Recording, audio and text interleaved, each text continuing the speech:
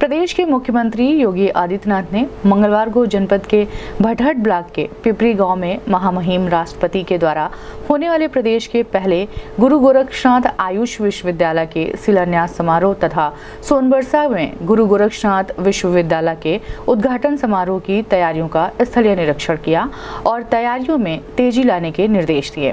निरीक्षण के दौरान मुख्यमंत्री योगी आदित्यनाथ ने कहा कि गुरु गोरक्षनाथ आयुष विश्वविद्यालय के शिलान्यास समारोह में किसी प्रकार की कमी न आने पाए तथा समारोह में साफ़ सफ़ाई व्यवस्था का विशेष ध्यान दिया जाए और किसी को कोई भी असुविधा ना होने पाए।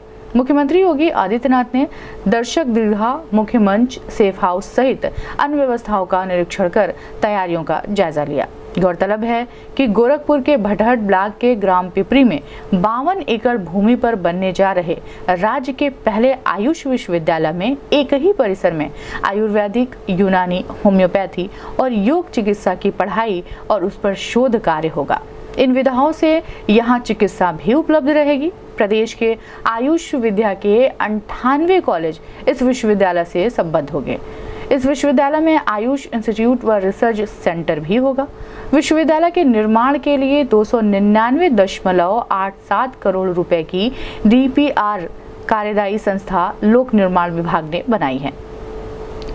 विश्वविद्यालय का निर्माण कार्य मार्च 2023 तक पूर्ण करने का लक्ष्य तय है।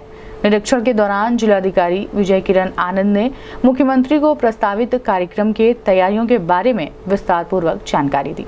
निरीक्षण के दौरान मंडलायुक्त Ravi Kumar N G CDO Indrajit Singh, Pipraich विधायक महेंद्र पाल सिंह, भाजपा जिला अध्यक्ष युधिष्ठिर सिंह सहित विभिन्न जनप्रतिनिधि एवं अधिकारी मौजूद रहे। इसके बाद देर शाम मुख्यमंत्री योगी आदित्यनाथ लखनऊ के लिए रवाना हो गए